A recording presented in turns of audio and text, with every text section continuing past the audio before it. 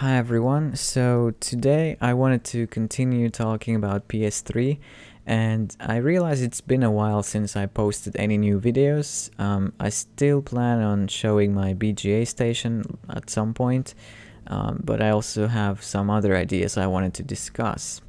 So uh, the topic today is cell processor and as you remember we have successfully figured out how to retrofit 40 nanometer and 65 nanometer RSX into the early backwards compatible PS3 models. Um, but we can't quite do the same for the cell processors yet, and there are a number of reasons for that. So I just wanted to go over some of those challenges.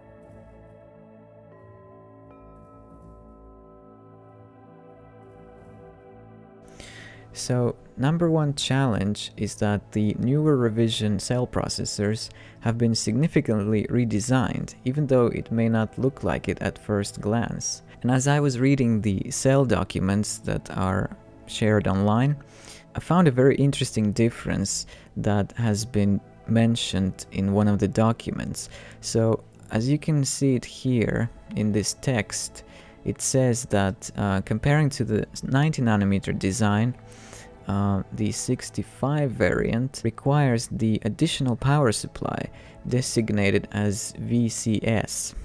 Um, and so uh, this is the first challenge that I came across because when I started looking at the schematics of different boards and um, the 65 cell has been used in SEM board uh, and luckily we have schematic for that. So I checked out how the new power lines have been connected and I found all the uh, new changes that have been done. So you can see here, this is the SEM board. Uh, I checked out this power section and it's, it's very similar to the one on COK boards. However, this component, uh, which is by the way going under the same name as, the, as in the COK boards, uh, is different.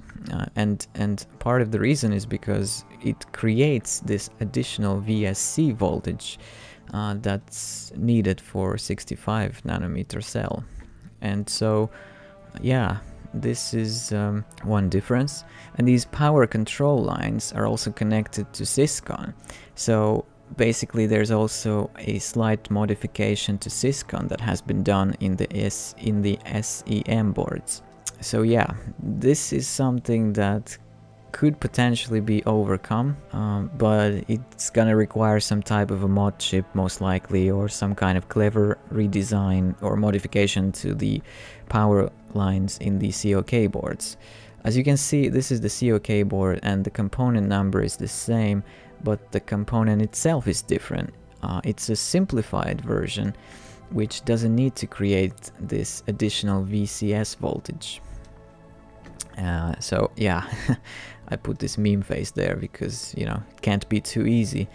And also uh, there's there are a few bypass capacitors added as well for this new voltage. But yeah, I'm not saying it's impossible. I'm just saying it's um, an extra challenge.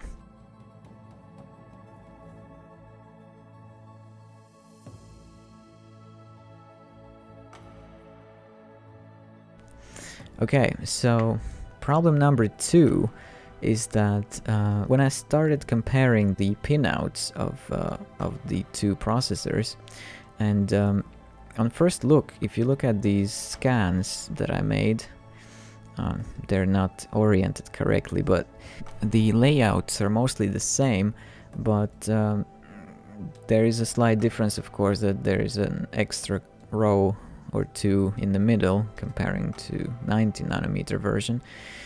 Um, but yeah, but it's not actually quite that simple. When I looked, when I wrote out all the signals and contacts into Excel spreadsheet, I then put them side by side and um, I ran the comparison filter and then it came up with about 600 connections that do not match up. So basically all these blue ones, they are either mismatching or new. So this means we will need to create an interposer and uh, it's not it's gonna take some time obviously um, so quite a lot of rewiring will need to be done uh, in order to you know fit this new cell processor yeah about 600 connections will need to be rewired so yeah this is uh, challenge number two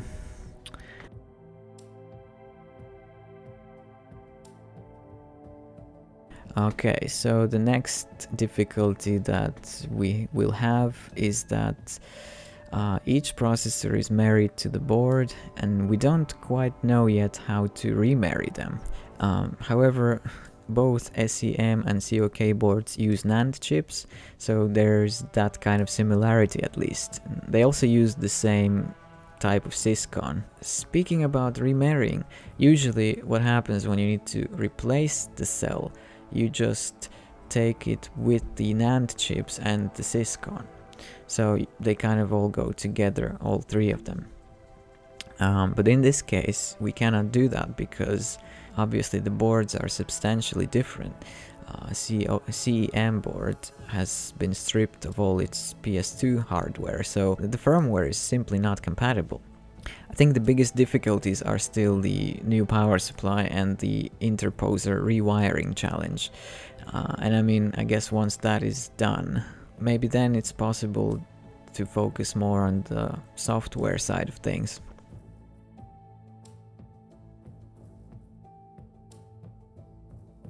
So another problem which I also mentioned about the new power supply is that um, Syscon will need to be obviously modified to understand it as well.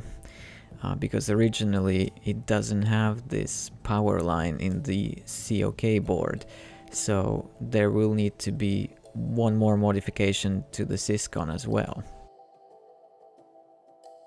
In the end you might ask why do this in the first place, because you know the original cell processor doesn't break or anything. Um, but yeah, I guess you could say there is no specific reason to do it. Uh, other than the fact that um, just for the sake of doing it and i guess in my case i just find it curious and you know i'm not like fanatically promoting the idea i'm just um, i just find it interesting and you can always make the original console a little bit cooler as well because you know stock cell runs quite hot on the backwards compatible models so in the next video, I'm going to talk about uh, 28 nanometer RSX and why creating an interposer for that particular graphics chip should be a lot easier than for cell. I'm also going to try to show the idea behind it. So yeah, thanks for watching.